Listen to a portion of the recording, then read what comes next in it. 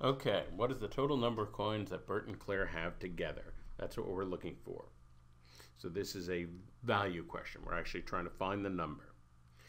I'm going to actually say, why don't we start with statement two, because statement one is going to take a little more thought. Statement two, very easy to see. That total number is between 21 and 28. Well, right there, we don't know how many it is. We're, we're now down to a few choices, but obviously by itself, this is not sufficient.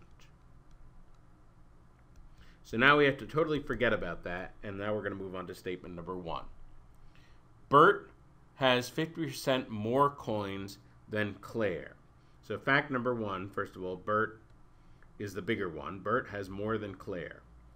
Let's think about this if someone can have 50% more than Claire, exactly 50% more, then Claire must have an even number. So we don't know what.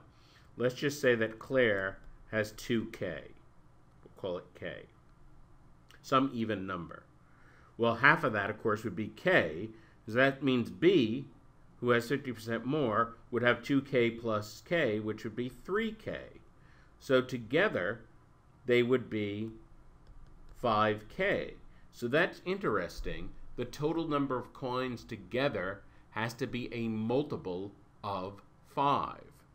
Well, that by itself doesn't allow us to figure out the total number of coins, so that by itself is not sufficient.